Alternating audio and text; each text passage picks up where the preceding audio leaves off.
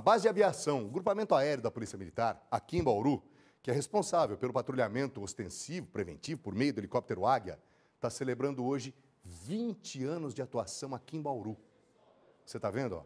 Solenidade, a prefeita Suelen Rosim, várias autoridades civis e militares. Uma vasta área, né? Composta por 87 municípios. Desde a divisa do estado do Paraná até toda a região centro-oeste paulista. Aí, ó, dá uma olhada só. Policiais civis, doutor Ricardo Dias, doutor Ricardo Martins, policiais civis que foram prestigiar essa celebração. 20 anos, duas décadas de uma extensa folha, uma extensa ficha de serviços prestados à nossa comunidade. E é crucial, é crucial para solucionar diversas ocorrências. E ontem mesmo, a gente acabou trazendo aqui no Balanço Geral como é que funciona, não é? Uma situação assim. Será que a gente consegue mostrar já que aquela de ontem?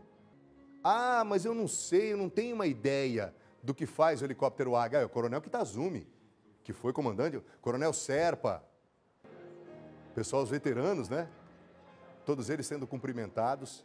Então, assim, olha, o pessoal do BAEP estava por lá, coronel Fábio, tanta gente que por lá passou para saudar.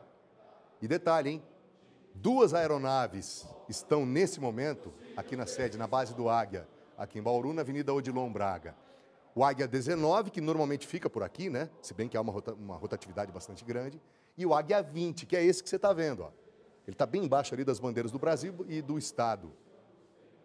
E por que o Águia 20? Exatamente para né, marcar a comemoração. Coronel Valentim está por ali também. Uh, para celebrar, então, os 20 anos. O Águia 20 para celebrar os 20 anos de atuação aqui na cidade e na região. Tá vendo? Ó? O que faz o helicóptero Águia. Turma boa essa nossa, tá vendo? É isso que faz o Águia. Ó por cima, ó. Ó, o policial agora vai apontar o fuzil. Nesse exato momento, ali na região de Assis, o helicóptero Águia localizou uma caminhonete roubada. E aí faltava o bandido. Opa, pera lá, que nós vamos achar o bandido é agora. Tá vendo ali a visão privilegiada do alto? Ali o helicóptero desce, dá um rasante, paira, as hélices movimentam a vegetação, ó quem sai dali, ó. O bandido preso e não faz gracinha, bandido. Então isso faz o helicóptero Águia da Polícia Militar. Uma ocorrência redonda. Não precisa disparar nem um tiro. E ó, ó o detalhe central, principal, ó. Orienta as equipes em terra. Você viu ali? O policial falando no fone. Ó o que, que vai acontecer agora. Ele está na mira. Está na mira do fuzil. Ó o que vai acontecer agora. Olha lá. Olha lá. Tá falando no fone.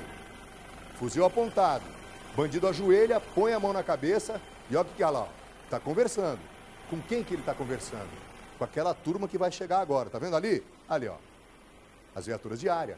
As barcas chegam e vão fazer a prisão. E esse é o exato momento em que os policiais eles desembarcam da viatura, é uma viatura diária, ali ó, ponto 40 nas mãos, descem ou desembarcam os dois, está preso o bandido, mas não é só isso. Tem uma outra, uma outra função que é muito bacana do Águia. Você sabe que além de tudo isso, você sabe o que mais ele faz? Resgates, salvamentos, operações que auxiliam no transporte de órgãos ou no transplante e no transporte desses órgãos. Portanto, o nosso carinho, a nossa admiração, o nosso respeito aos policiais militares que fazem parte do grupamento aéreo da Polícia Militar, o Águia, a base do Águia aqui em Bauru, completando hoje 20 anos de atuação. Parabéns a todos vocês, aos veteranos também, a todos que passaram, a todos que vão passar, uma ferramenta extremamente necessária para o combate à criminalidade. Vem cá, por favor. Eita, não é gostoso. E por que, eu falei que eu tenho uma, relação, uma certa relação de afetividade? Né? Porque durante sete anos, tudo que o helicóptero Águia fazia, eu contava. Né? É uma relação afetiva mesmo, gostosa. Né? De muito aprendizado, inclusive.